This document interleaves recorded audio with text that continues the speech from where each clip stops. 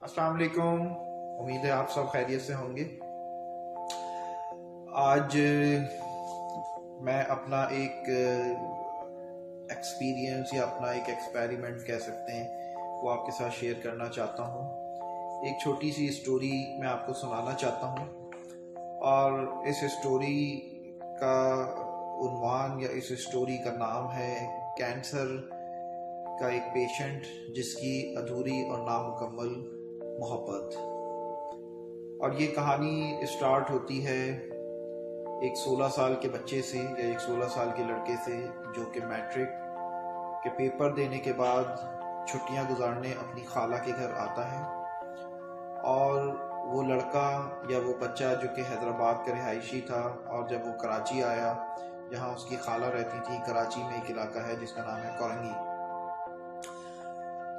وہاں پہ اس بچے کی ملاقات، خالہ کے گھر کے بالکل سامنے ایک فیملی رہتی تھی اور وہاں پہ ایک بچی تھی جو کہ similar like nine nine class میں یا ٹین کلاس میں تھی اور وہ جو کہتے ہیں لو ایٹ فرسٹ سائٹ تو اس بچے کی اور اس لڑکی کی ایک پاکیزہ محبت کی داستان اسٹارٹ ہوئی اور وہ وہ لڑکا میٹرک سے لے کے گریجویشن تک اور گریجویشن سے لے کے نوکری حاصل کرنے تک، لائک کہ دس سال پہ یہ محیط رہی، یہ پوری کہانی۔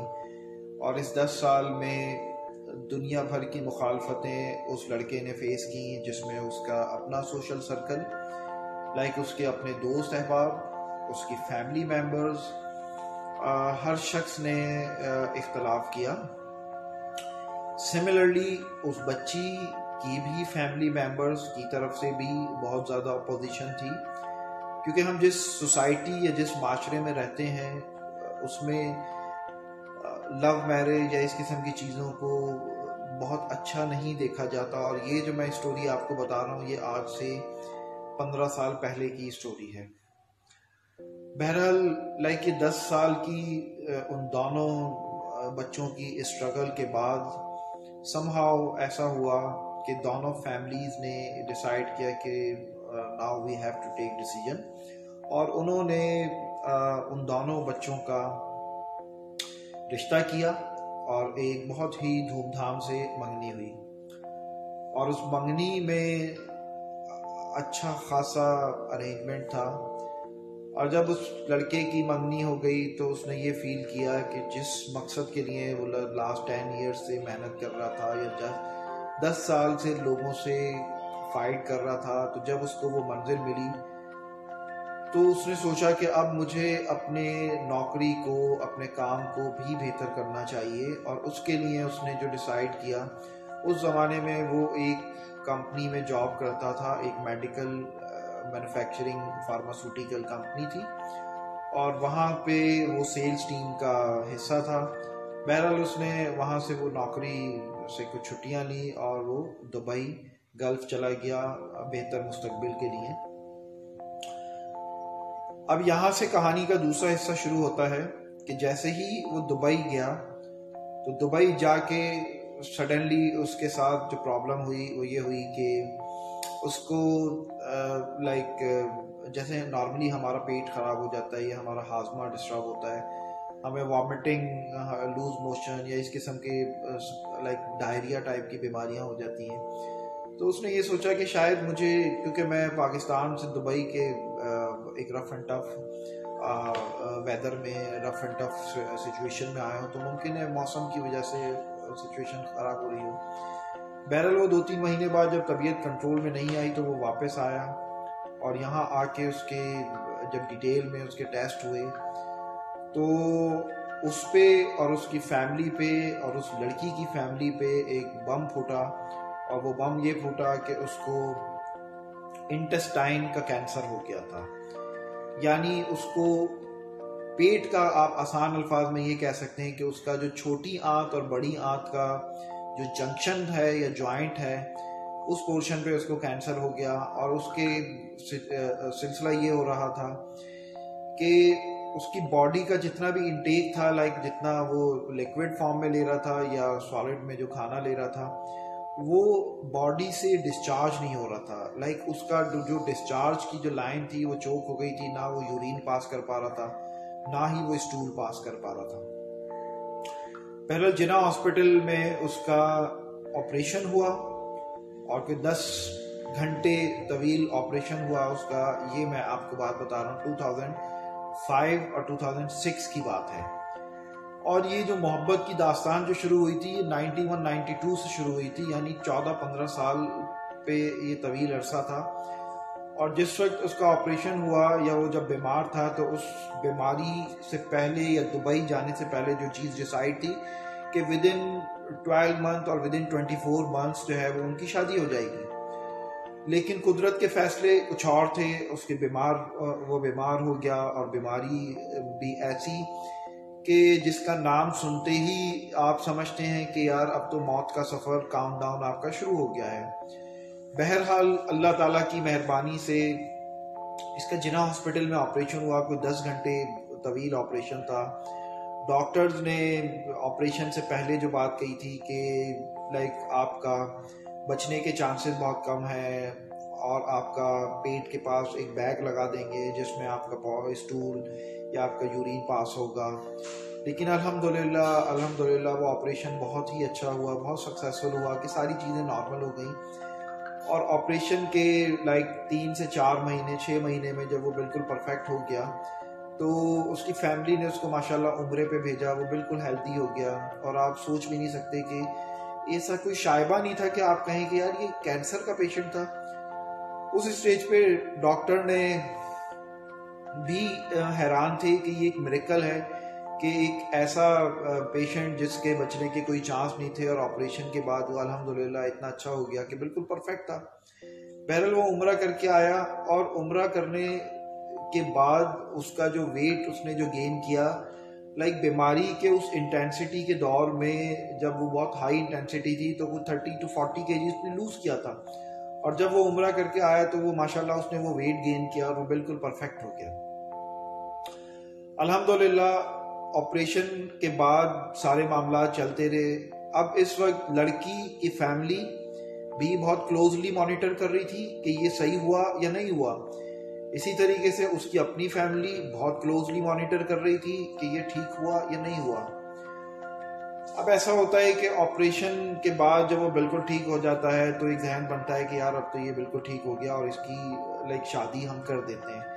کیونکہ جس وقت جب آپریشن ہوا تھا تو انہوں نے وہ شادی والے سارے معاملات جو ہے وہ پوسٹ کر دیے تھے اور وہ رشتہ ایک ایسے اسٹیج پہ چلا گیا تھا کہ ختم ہونے والی بات ہو رہی تھی بٹ چیزیں رکی نہیں اور اس میں بھی اس لڑکی اور لڑکی کا ایک فیت تھا، ایک دوسرے کے اوپر مسمم ارادہ تھا کہ ہم نے اس کو، اس کیس سے باہر آنے اور اس فائٹ کو جیتنا ہے۔ بہرحال شادی ہوتی ہے۔ شادی ہونے کے بعد شادی ہونے سے پہلے ہی اس کی کچھ طبیعت تھوڑی بہت گڑبڑ تھی۔ لیکن آپ یہ نہیں کہہ سکتے کہ بہت زیادہ کچھ گڑبڑ تھی۔ بہرحال، شادی ہو جاتی ہے۔ شادی کے بعد جو چینج آتا ہے کہ شادی ہوتے ہی، لائک اس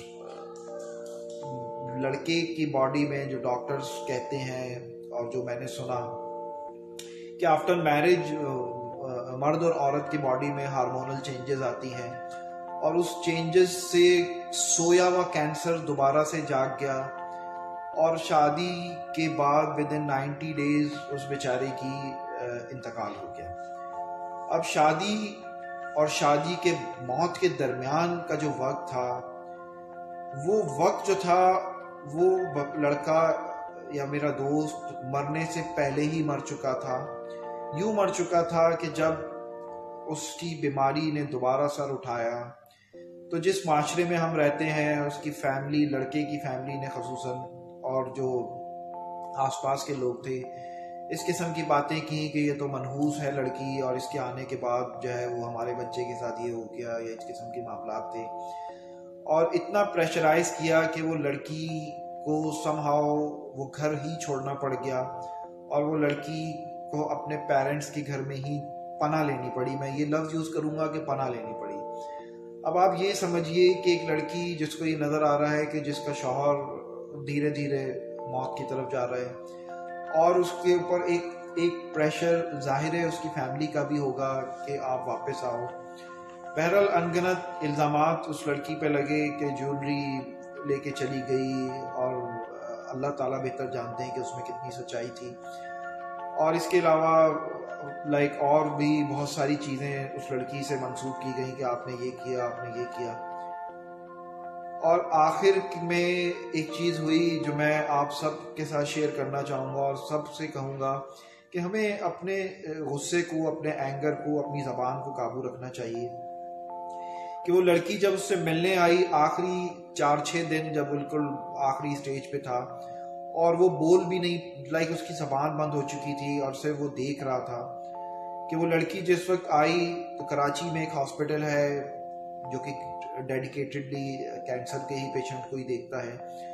تو وہ اس روم میں میں بھی موجود تھا، وہ لڑکا بیڈ پہ تھا اور وہ بول نہیں سکتا تھا، اس کی زبان بند تھی، وہ صرف دیکھ رہا تھا۔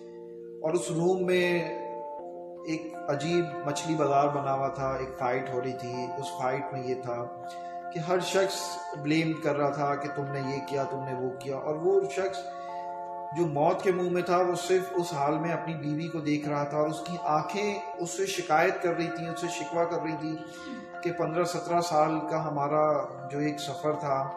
اور جب مجھے لائک تمہاری ضرورت تھی، جس وقت میری زندگی کی لا میری زندگی کی شمع بجھنے والی تھی، تو تم اس اسٹیج پہ کیسا ہی پریشر کیوں تھا؟ کتنا ہی معاملات کیوں تھے؟ آپ نے مجھے چھوڑ کے نہیں جانا چاہیے تھا۔ بہرحال، اس کے کچھ دنوں بعد ہی اس لڑکے کی ڈیتھ ہو جاتی ہے، وہ لڑکی اپنے گھر چلی جاتی ہے۔ اللہ تعالیٰ کی، میں سمجھتا ہوں، ایک مہربانی یہ ہوئی کہ ان کا کوئی اولاد نہیں ہوئی۔ ورنہ میں یہ سمجھتا ہوں، دیکھیں مرنے والا تو مر گیا، پیچھے بچے کا کیا ہوتا، اسی طریقے سے۔ اس لڑکی کی محبت کی اگر معراج کی بات کریں تو اس جس وقت اس کی ڈیتھ ہوئی، تو وہ لڑکی کی ایج میں ستائیس، اٹھائیس سال تھی۔ اور ابھی کچھ عرصہ پہلے لائک یہ بات ہے 2006 2007 میں اس کی ڈیتھ ہوتی ہے۔ اب ہم بیٹھے ہوئے 2020 میں لائک 14 ایئرس پہلے کی بات ہے۔ چودہ سال بعد دنیا بھر کے پریشر کے بعد اس لڑکی نے اب جا کے شادی کی۔ یعنی آج اس بچی کی عمر کو 40 42 ایئرز ہوگی۔ تو یہ ایک اسٹوری میں آپ کو شیئر کرنا چاہتا تھا اور اس اسٹوری میں میں یہ سمجھتا ہوں کہ اگر ہمارے بچے کی کوئی جذباتی انٹینشنز ہو جاتی ہے تو ہمیں اس کو سپورٹ کرنا چاہیے۔ اسی طریقے سے اگر آپ کے پیش، آپ کا کوئی پیشنٹ ہے یا آپ کا کوئی فیملی ممبر ہے جس کے ساتھ کوئی اس قسم کی بیماری ہے تو ہمیں اس کے سامنے لڑائی، جھگڑا، فساد، اس کو اس اسٹیج پہ مورال سپورٹ کی نیڈ ہوتی ہے اور اس مورال سپورٹ میں ہمیں اپنے ایسی بات کرنی چاہیے جس سے مریض خوش ہو، جس سے آپ کا فیملی ممبر خوش ہو۔ تو یہ تھی آج کی ایک مختصر سی اسٹوری اور مجھے امید ہے کہ یہ اسٹوری آپ کو پسند آئی ہوگی اور ان شاء اللہ تعالیٰ نیئر فیوچر ہم کچھ اور بھی چیز ہوگی، اس کو بھی آپ کے ساتھ شیئر کریں گے۔ السلام علیکم۔